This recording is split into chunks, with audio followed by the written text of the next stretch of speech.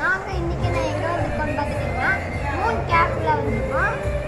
so இது என்னன்னு பார்த்தீங்கன்னா ஒரு ஜூஸு ஆரஞ்சு ஜூஸ் ஓகே இது பார்த்தீங்கன்னா மோமோஸு முதல்ல ஜூஸ் டேஸ்ட் பண்ணியிருந்தாங்க ரைஸ் இதுமாரி செம்ம டேஸ்ட்டு மோமோஸ் டேஸ்ட்